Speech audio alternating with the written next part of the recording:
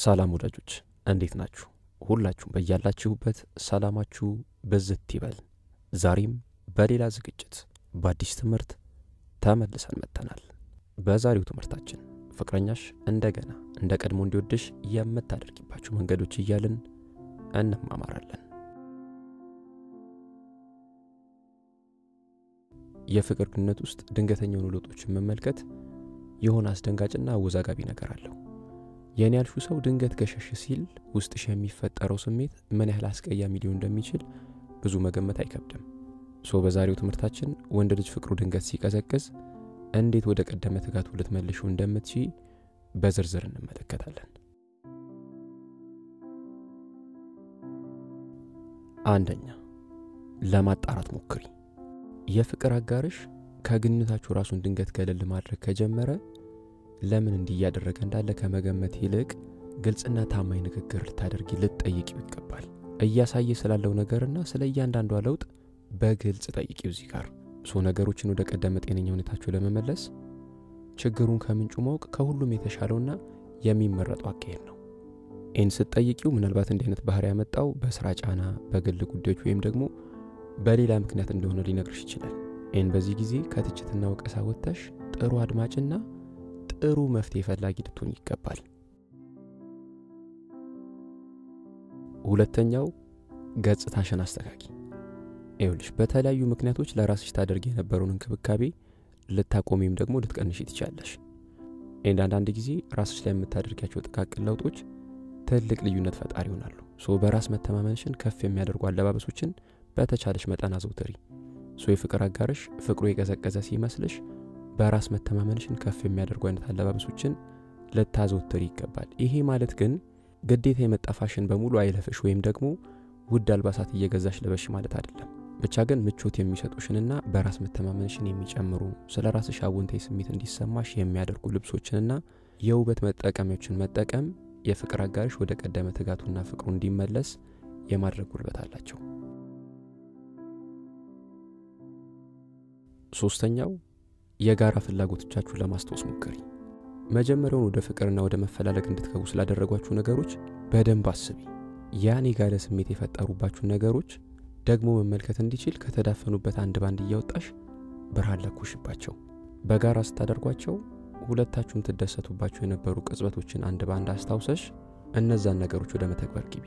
በጋራ ፊልም ታዩ፣ በጋራ ወቅት ታደርጉ፣ በጋራ የምሽት መዝናኞች ታዘወትሩ ወይም ደግሞ ሌሎች ደስታን የሚፈጥሩላችሁ ነገሮችን ታደርጉ ከነበር እነዛን ጣፋጭ ጊዜያትን የሚያስታውሱትን ነገሮች አሁንም በድጋሚ አንቺ ላይ መመልከት ሲጀምር በመካከላችሁ የነበረውን የፍቅር ገመድ እንደገና የማጥበቅ ፍላጎቱም አብሮ ከፍ ይላል ማለት ነው።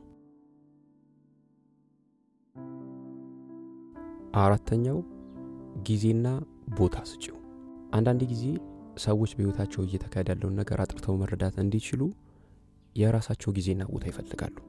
ሶ የፍቅር አጋርሽ ትንሽ ጊዜ እንደሚፈልግና ብቻው መሆን እንደሚያስብ ከነገረሽ ፍላጎቱን ያለምንም ማንገራገር አክብሪለት። ይህ አካሄድሽ በእሱ ጉዳይ ተስፋ መቁረጥሽን ሳይሆን ለፍላጎትና ሀሳቡ እንደተውሹ ትልቅ ማሳያ ነው። ሶ አንቺም ይሄን ጊዜ ራስሽን ለመመልከትና ውስጥሽን ለማዳመጥ ልትጠቀሚበት ትችያለሽ። ለፍቅራችሁ ዝግጁ ሲሆንና ከአንቺ ጋር መቀጠሉን ከልቡ ካመነበት ብቻ ተመልሶ እንዲመጣ አድርጊው። ይህን አንዳንድ ጊዜ ነገሮችን በትዕግስትና በእርጋታ መመልከት የፍቅር ግንኙነትን ወደ ቀደመ ግለቱ ለመመለስ በጣም የተሻለው አካሄድ ነው። አምስተኛው ለመልካምነቱ ዋጋ ስጪ። እዚህ ጋር ለግንኙነታችሁ ለፍቅር ህይወታችሁ የምትሰጪውን ከፍ ያለ ቦታ በግልጽ ልታሳዩ ይገባል። የሚሰማሽን እውነተኛ ስሜትና ለእሱ ያለሽን አድናቆት ደግሞ በፍጹም አትደብቂ። ምክንያቱም የፍቅር ህይወት ውስጥ በጣም ጥቃቅን የሚመስሉ ነገር ግን ደግሞ ስሜትሽን በተለያዩ አጋጣሚዎች የገለጽባቸው መንገዶች ግንኙነታችሁ ላይ ትልቁን ስራ ሰርተው ልታገኝ ትችላለሽ። ስለዚህ ለሚያደርግልሽ ነገሮች ሁሉ ከልብ የሆነ ምስጋና ማቅረብ እሱ ላይ የሚፈጥሩ አዎንታዊ ተጽዕኖ በቃላት የሚገለጽ እንዳይመስልሽ። የፍቅር ግንኙነት ውስጥ ለሚደረጉ መልካምነቶች ዋጋ መስጠት የፍቅር ህይወትን የማጣፈጥና ለዛውን እንደገና የመመለስ ትልቅ አለው። ስድስተኛው ያለ ተጽዕኖ ተነጋገሩ። ግልጽ ውይይትና ንግግር የሁሉም ነገር ቁልፍ ነው። ይህን በንግግራችሁ መሃል ለሁሉም ጥያቄዎችሽ ወዲያው ወዲያው መልስ እንዲሰጥሽ ግፊት አታድርጊበት። ለንግግር ዝግጁና ፈቃደኛ ሲሆን ብቻ ሊያወራሽ እንደሚችል ንገሪው።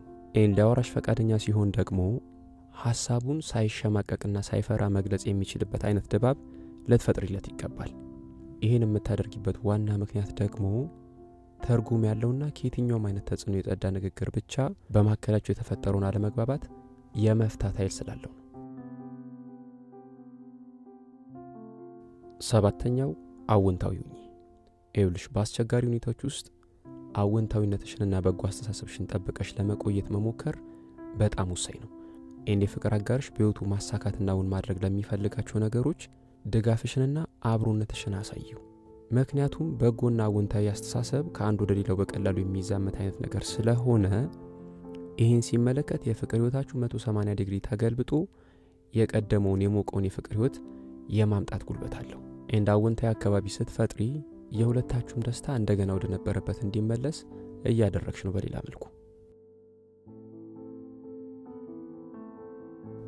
ስምንተኛው ራስሽን ማሻሻል ላይ አተኩሪ። ይኸውልሽ ይህን ጊዜ ራስሽን ለማሳደግና ለማሻሻል እንደ መልካም አጋጣሚ ተጠቃሚው።